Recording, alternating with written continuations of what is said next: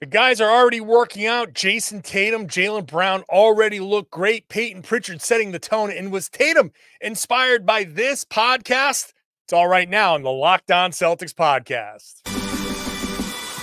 Thanks to Blockbuster brand, it's holiday season. Drop Drew in the mix. And three from KP, no, we not on the Knicks. Flushing competition like Al on Giannis. Juice and Big Zeus, still Beantown's finest. Banner 18 going up in the rafters. Watch the Steve game in locked on NASA. Karalis on the breakdown. Clutch like a tip from D White on the breakdown. John on the mic documenting domination. Matter pen back bay, it's all C's nation. Rain Jace, how it started, raising business, how we finish. Locked on Celtics pod, home of the winners. Peace. Hey there, welcome back to the Locked On Celtics podcast. It's right here on the Locked On Podcast Network. It's your team every day. I got you covered every Monday through Friday. And when they start playing, bonus podcasts after every game, no matter when. So make sure you're subscribed whenever you wherever you get your podcast and whenever, I suppose. And watch the show on YouTube, subscribe there, get notified when I drop new videos. Get into that comment section. Always let me know what you're thinking and interact with a growing community of Celtics fans just like you. So, uh, hey, by the way, I'm John Karalis. If you're new to the show, uh, I've been covering this team for about 20 years now. I'm doing it right now as a beat writer for Boston Sports Journal. I'm also an author, two time author. Built Different is my latest book celebrating the Celtics' 18th banner. Buy it now at johnkaralis.com. 30 bucks, personalized copies uh, in the US. Uh, we can talk if you're shipping internationally uh, but I'll get I'll get into more of that uh, a little bit later.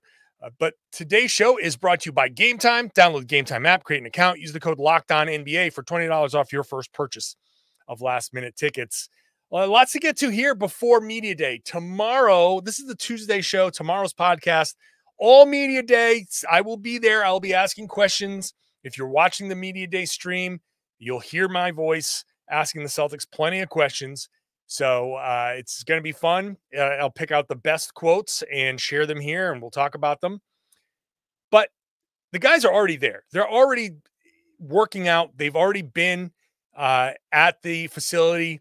Uh, Porzingis just got back to Boston, putting out his uh, Instagram with the coffee from his apartment. Which, of course, he's got a coffee. He's he's he's more of a, ca- a caffeine addict than I am, and I'm a pretty big caffeine addict.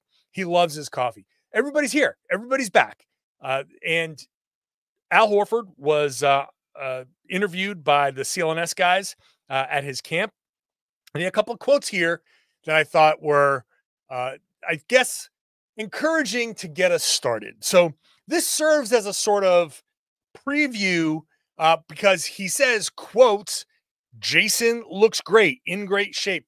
Jaylen looks unbelievable as well. I just know that they're ready to go and I'm ready to go, and we're just excited.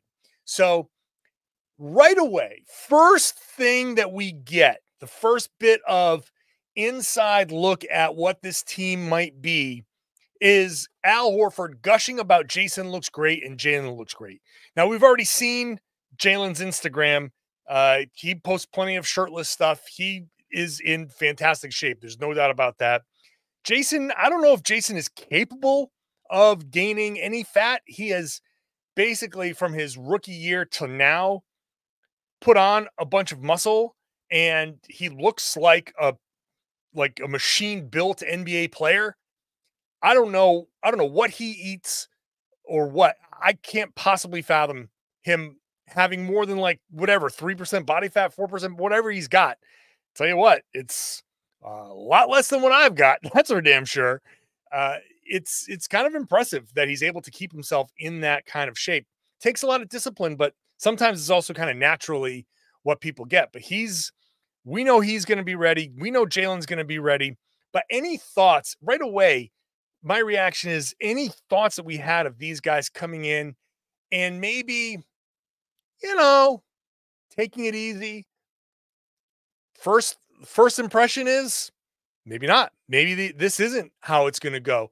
Maybe these guys are really hungry. And in the third segment, because I want to get into the other stuff, in the third segment, I will talk about Jayson reacting to Joe Mazzulla on this podcast and kind of it serving as a, a bit of inspiration, uh, for which I will take complete credit.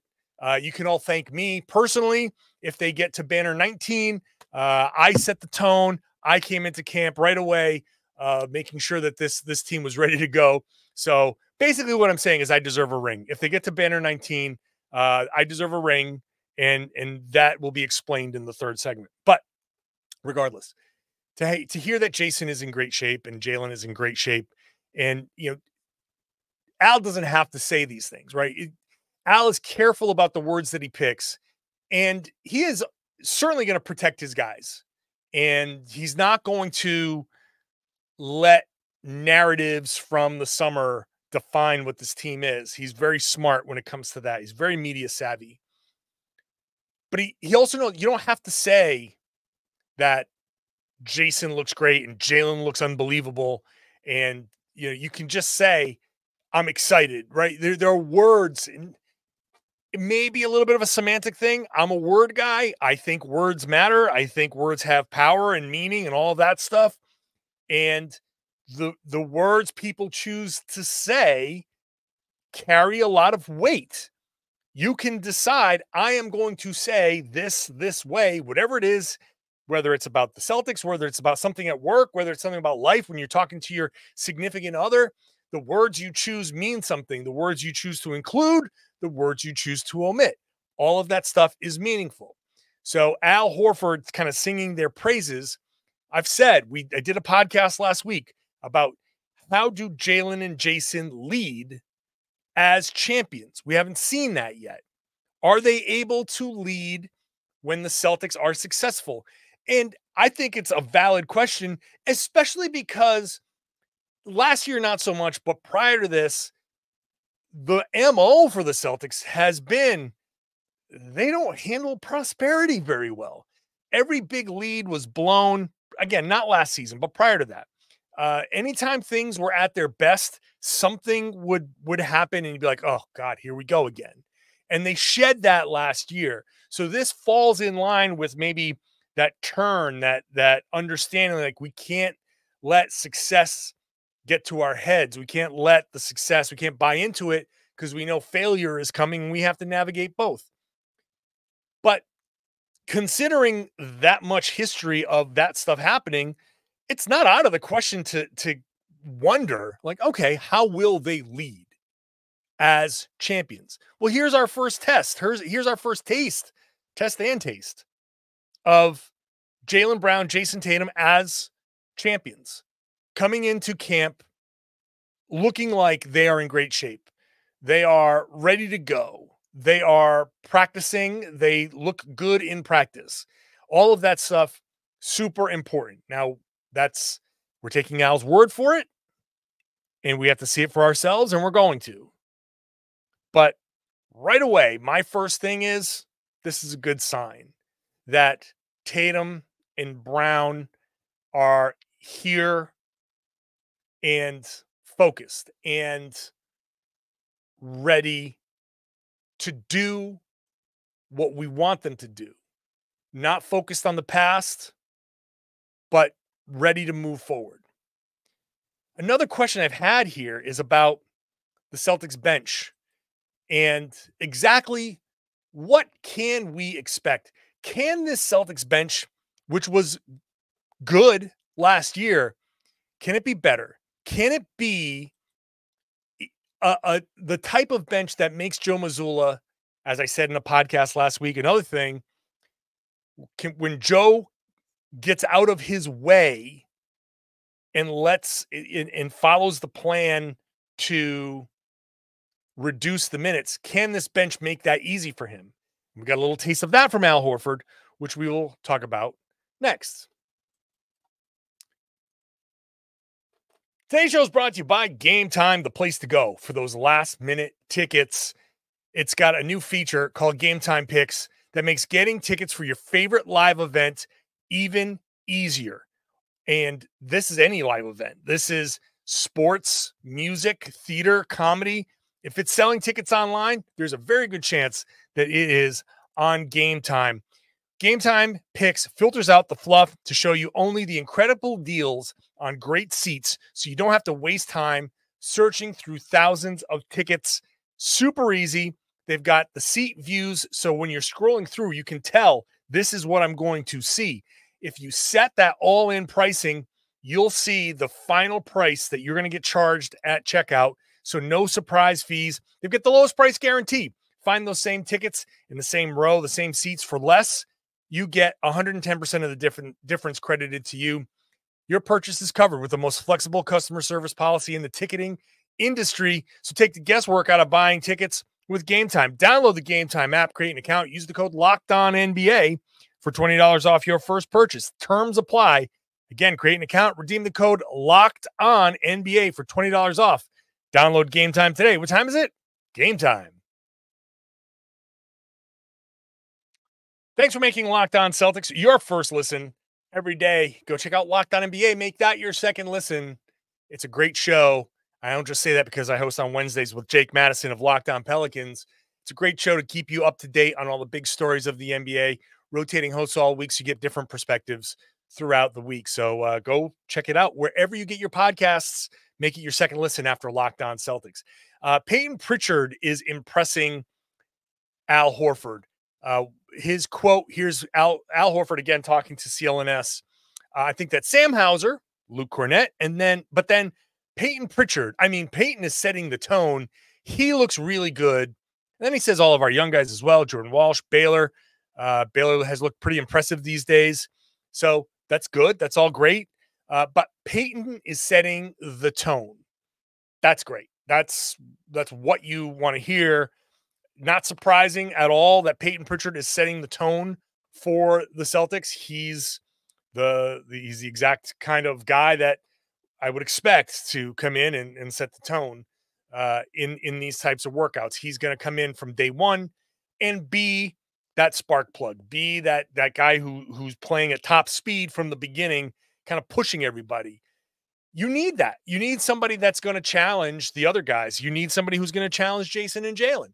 You're going to have to have somebody out there that, yeah, you all follow the the the two J's, but you want somebody that's also established that can come in and be like, hey, keep up with me, T- stay on my level.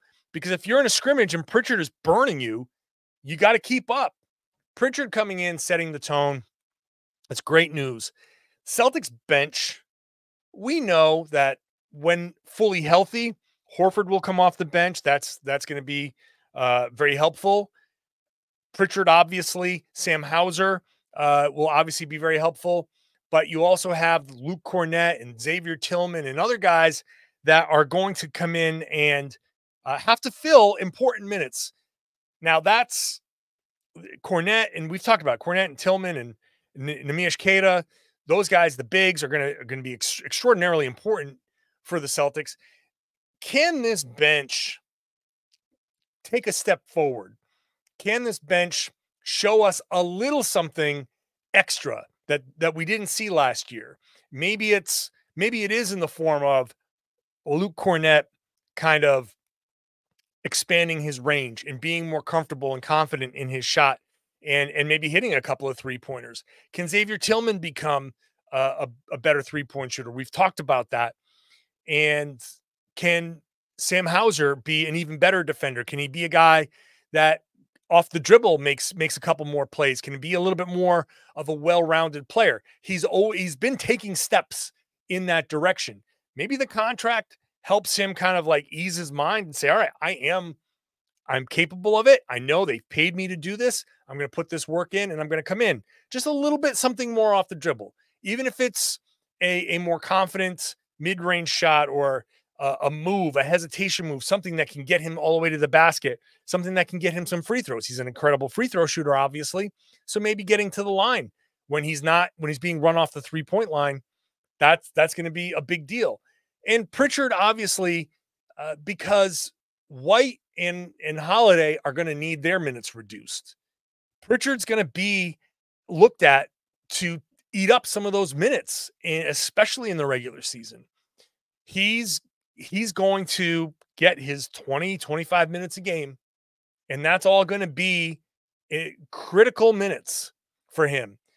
Can he be an even better like defender? Can be somebody that, you know, I always talk about him being picked on, and some of it's just natural because of his height, but can he be so disruptive with his energy that you kind of negate some of that stuff where you're you're just making somebody uncomfortable. And that's Pritchard's the guy that you want picking somebody up full court.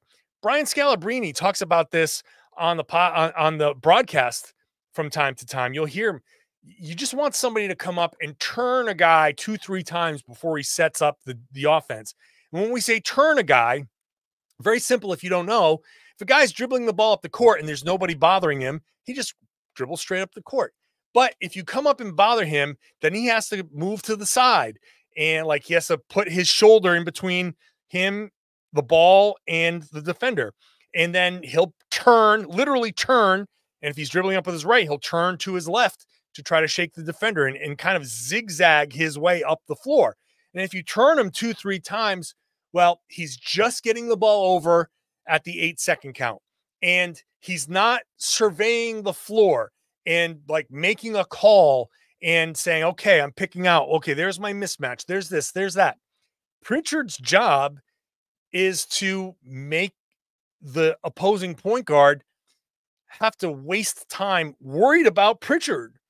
So coming in, setting that tone and being that guy is huge. And that disrupts the other team's offense. And that makes it much more likely that they're going to miss or turn the ball over.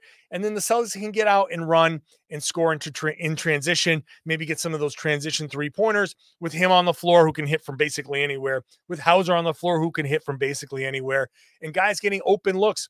Transition transition baskets, uh, transition three pointers are a great way to get clean looks.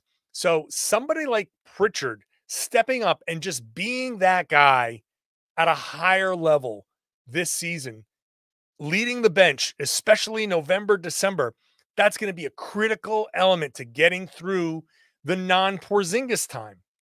You got to figure out. We talked about Tom and I talked about in last week the, the podcast about the defense. When the Celtics are 12 points better than the opposition with Porzingis and one and a half points better with than the opposition with Al Horford as the starting center. Well, that one and a half points is kind of an average where you say, okay, there's that that they very easily can be a negative a few nights. Where can you make up that 11 points or so difference throughout the game without Porzingis? Who's going to step up?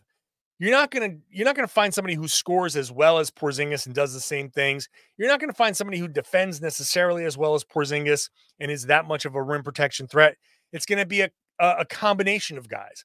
Kornet, Queta, Tillman, they're all gonna have to step up off the bench. Pritchard, with that pressure that I was talking about, is gonna have to step up.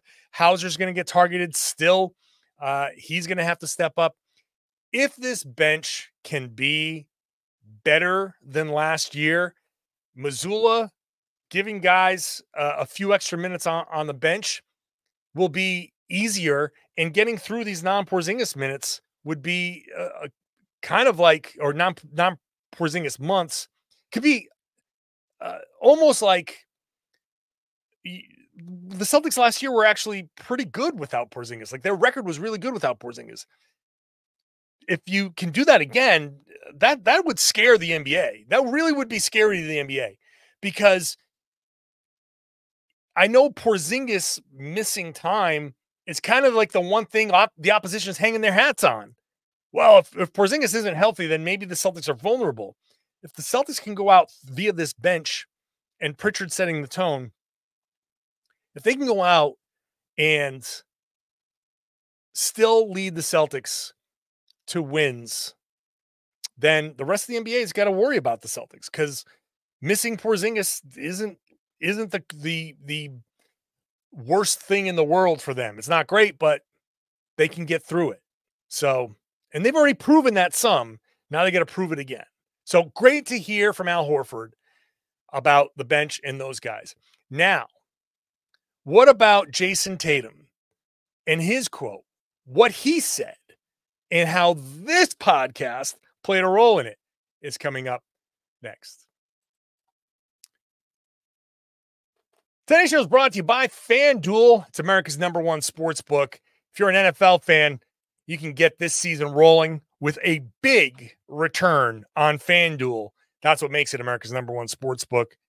If you get a hunch in the middle of a game, you can check out the latest stats. You can view live play by play and so much more on the same page where you place your bets. You can keep up with all the trends of the game. You can keep up with everything all on that one page. So you don't have to go between, you know, different browsers or whatever. Keep that app open. You're going to get started with $200 in bonus bets guaranteed when you place your first $5 bet at fanduel.com. Patriots are uh, 10 point underdogs against San Francisco. Ouch. Ouch. Uh, can't say I blame them though. So, whichever way you want to throw that five bucks, that might be a good place to do it. It doesn't matter if you win or lose because you're going to get those $200 in bonus bets guaranteed no matter what. Set your limits. Make sure you're setting those that budget using the tools that FanDuel makes available so you can gamble responsibly and have fun at FanDuel. It's America's number one sports book. Thanks for making Locked On Celtics your first listen every day. Built Different is my latest book. Go pick it up at johnkaralis.com. Uh, go to the store. $30 domestic shipping. Uh, so within the United States. If you've already bought a book, I have four by six uh, labels that I will personalize. Uh, and you can stick that inside the book, personalized and signed. So you have that. Uh, so you can sort of have a signed copy. That's sold for 10 bucks.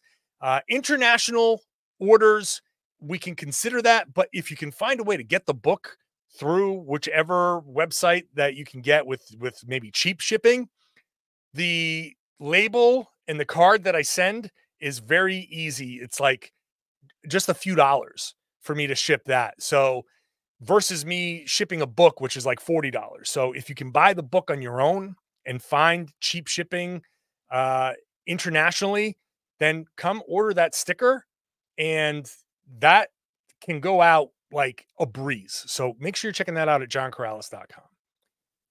All right, Jayson Tatum, clearly inspired by Joe Mazzulla here on the Locked On Celtics podcast, where Joe was on this podcast and we talked about it.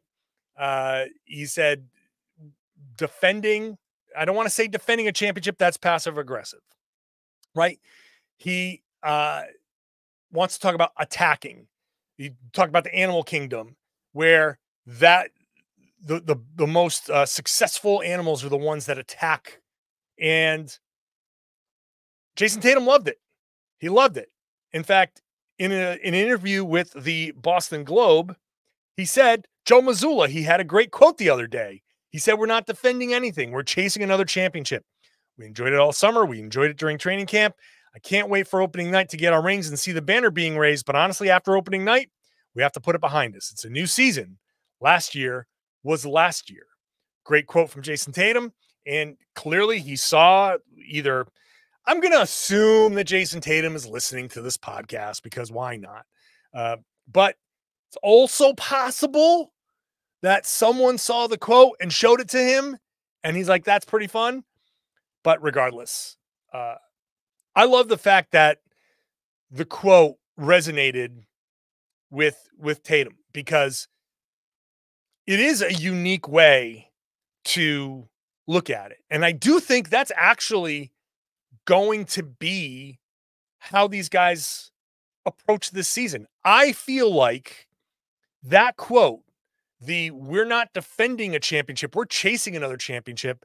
I think that is going to be the the headline for this season. Now, of course, I'm proud that it was said on this podcast and uh, it's great that that's going to be the clip, but I think it's the best quote that you're going to get for this this season. That quote defines how the Celtics should approach this upcoming season. We are not defending anything. We are going to attack it. We are going to chase another championship. And that sets these guys in that mindset of we're not resting on anything. Yeah, we got our rings. Yeah, that's our banner up there now. And we're a part of history. Now move forward. Next, to quote Joe Mazzulla again, nobody cares. That's great. Nobody cares now. What what have you done for me now? Because if the Celtics fail, if they falter, if they fall apart, people are going to jump all over them. Be like, oh, championship hangover, or it's one and done. You know, how great can you really be? So you don't want to hear that as uh, an NBA player, as a competitor. So to hear Jayson talk about we're chasing another championship, we're not defending anything. That tells me now, combine that with what I said in the first segment. Jayson comes in, Al Horford's like, man, he looks great. He looks ready. And he comes in and it's like, last year was last year. We, you know, we got to figure out a way to get better. We wanted to approach the game with the same mindset. We did an amazing job of that last year. We are pretty good last season. We believed it. He's, so if you believed it last year, believe it again this year. Go out there and don't do the same things, but have the same mindset because the same things aren't going to happen. It's a different season, it's a different approach. But, and if you need to use uh, certain motivations here or there, like Joe said on this podcast, that's great in the short term. But the long term goal is growth. Get better. Get better as a leader. It's why one of my for my first camp question was how are they as leaders? Get better as a leader. Get better as a star player. Get better as the main option. Get better as a distributor. That's all great. Everybody has now seen that before. So what do you do? You don't have a lot of sequels out there that impress anybody when they're the exact same as the first movie, right? You say, "Oh, that was that was nice. wasn't as good as the first one." You know, you want to impress somebody? Give me Empire Strikes Back for this one. Okay. Who's going to be Darth Vader on this? Is Jaylen? Jaylen's the one who said he was out for blood. Right? Look at look at Joel Embiid when he's crumpled on the floor after flopping and tell him, I am your father. That's what I want the Celtics to be this year. Empire Strikes Back. I think Jayson with his approach here, I think he gets it. I think he gets it. Now we'll see. Training camp starts on Wednesday. So again, Tuesday, media day, I will be there. I will be asking a lot of the questions. It'll be interesting to see how guys look, how they approach things, uh, the way they answer. Uh, so that's going to be like the first thing that kind of say, okay, this this informs my opinion of where this season might go. Let's let's kind of see how they talk the talk. But then Wednesday, we'll start seeing them walk the walk. Last preseason, I saw these guys and I was like, whoa, that team is playing in June. Book it. I wrote about it on Boston Sports Journal. I said, make your plans because this team will be playing in June. They should win a championship because of the way they looked in preseason. You could tell Will I have that same feeling this year? Will you be able to tell? We're going to find out. So far, early returns. First, the, I guess, the trailer for this upcoming movie, if I'm sticking with the movie analogy. Trailer looks good. Let's see what they've got. I will be here. I will share quotes. I will, you will hear things that are said. I will react to things that are said. And uh, that's going to be how the rest of this week goes. Uh, I will be at practice. I will let you know how practice goes, the things I see, uh, the things that are said, all of it. It's an inside look. You can't keep up with everything. I can. That's my job. And I will bring it to you here on this podcast daily, Monday through Friday. When they start playing, post game podcast every time they play. So make sure you are locked on to the Locked On Celtics podcast. Subscribe wherever you get your podcast. Watch the show on YouTube. Get into that comment section and let me know how you're feeling about this team, about what I say, and then share the podcast. Tell everybody they should be listening to and watching the Locked On Celtics podcast here on the Locked On Podcast Network. It's your team every day.